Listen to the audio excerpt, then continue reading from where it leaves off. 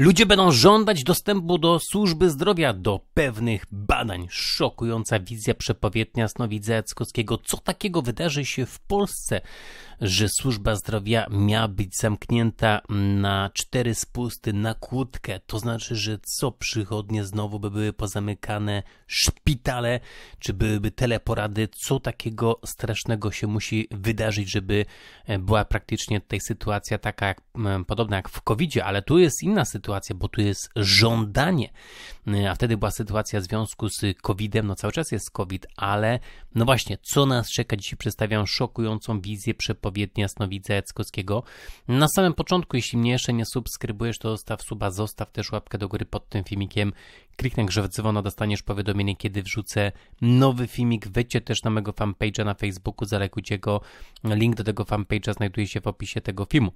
No właśnie, dzisiaj przedstawiam wizję przepowiednia Jasnowidza Jackowskiego, gdzie mówi w ten sposób: ludzie będą żądać dostępu do służby zdrowia, do służby zdrowia, do pewnych też badań.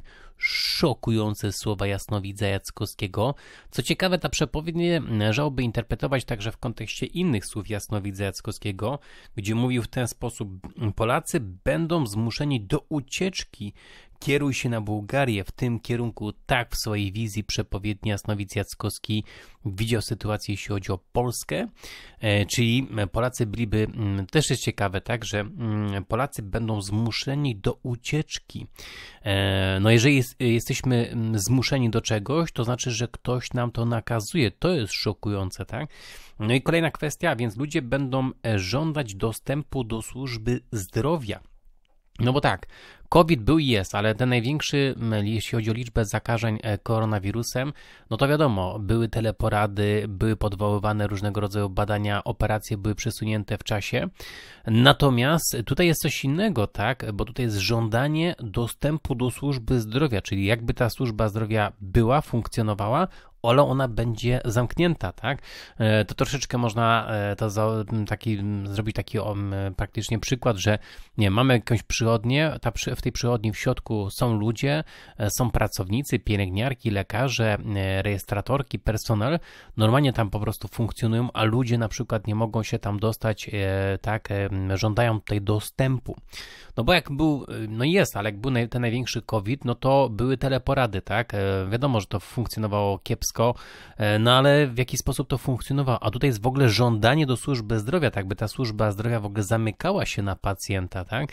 To się wiąże, wiąże z kolejną wizją przepowiednią Jasnowidza Jackowskiego, gdzie Jasnowic mówił o tym, że będą pewne zmiany na skórze, że będzie po prostu skóra odchodzić pewnymi po prostu fragmentami, coś żółtego na skórze i że nawet lekarze dopiero będą e, uczyć się e, tej nowej choroby, będą poznawać, co to jest, e, do końca nie będą wiedzieć i też była taka wizja przepowiednia, no nie wiem, czy akurat ją można po prostu jakby łączyć z tą, z tą skórą, ale że lekarze w jakiś sposób będą się odseparowywać od pacjentów.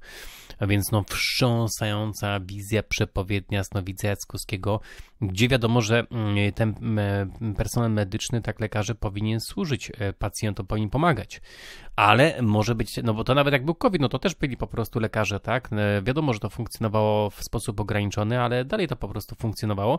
A tutaj byłaby sytuacja, że tutaj byłaby sytuacja, że mieliby się grodzić lekarze, tak, w obawie, na przykład, nie wiem, przed jakąś chorobą, przed jakimś wirusem, czy na przykład skażeniem radioaktywnym, potencjalnym zagrożeniem. No w każdym razie przerażająca wizja przepowiednia Jasnowidza Jackowskiego. Tutaj Jasnowidz mówi w ten sposób, wszystko jest podzielone na etapy, tak, wszystko jest rozdzielone na etapy, jest to po prostu systematycznie wprowadzane. Tutaj czuję ucieczkę, czuję panikę, ale nie rozumiem powodu, z jakiego jakiego miałoby dojść do tej ucieczki, do, tego, do tej paniki. Tak to właśnie definiuje Jasnowic Jackowski. Znaczy, no dzisiaj najłatwiej to po prostu e, identyfikować w kontekście Rosja kontra Ukraina, użycie na przykład brudnej bomby broni e, skażonej, czy po prostu broni radioaktywnej. Oczywiście, no, gdyby to Rosja zrobiła, tak, no bo Ukraina tego nie zrobi, ale przecież Rosja tak stosowała taką retorykę, że to przecież y, Ukraina szykuje taką broń na, na Rosję.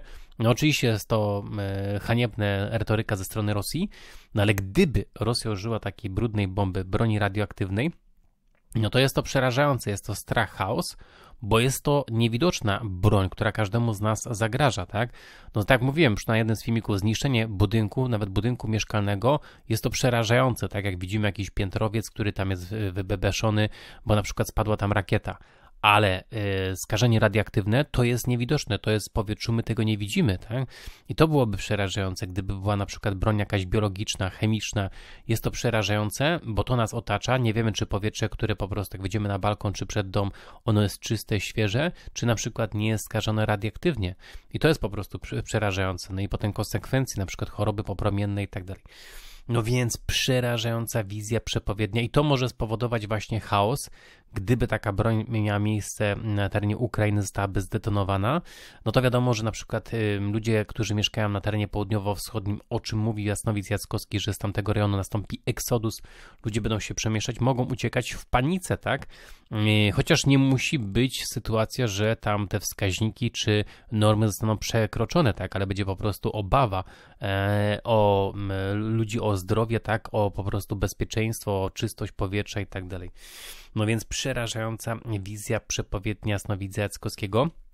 No bo COVID ok, tak? Wszyscy wiemy o tym, że istnieje, tak? No ale COVID, y, no można było się w jakiś sposób zabezpieczać. No jak człowiek został w domu, tak, nosił te maseczki, dezynfekował te ręce i nie miał kontaktu z innymi ludźmi, po prostu tak, e, tym e, miał mniejsze ryzyko, że się zarazi COVID-em.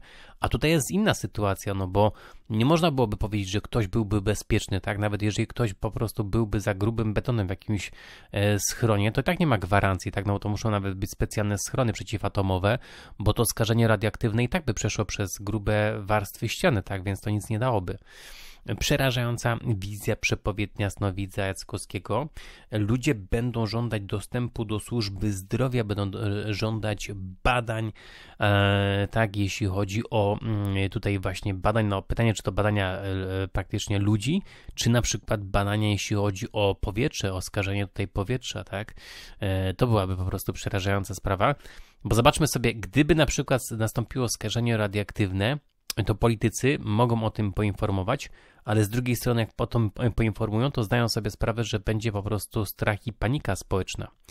E, I oni na przykład mogą to e, ukrywać, mogą to utajniać, albo powiedzą, że jakieś normy są podniesione, e, podwyższone po prostu normy, tak, jeśli chodzi o powietrze, będzie mieć jakiś wybuch radioaktywny, czy zniszczenie elektrowni atomowej będzie mieć miejsce na przykład na terenie Ukrainy, to oni będą powiedzą, nie, nie, powietrze jest w porządku, tam są normy tylko podniesione. A tu się okaże, że te normy będą po prostu przy, będą zdecydowanie wyższe, ale nie powiedzą tego, żeby nie wywołać strachu, anarchii, lęku praktycznie tutaj ludzi, tak? No nie wiadomo, zobaczymy. To wszystko dzisiaj. Dzięki za oglądanie, dzięki Asłanie. Jeśli mnie jeszcze nie subskrybujesz, to zostaw suba, zostaw też łapkę do góry pod tym filmikiem. Pozdrawiam, trzymajcie się, cześć!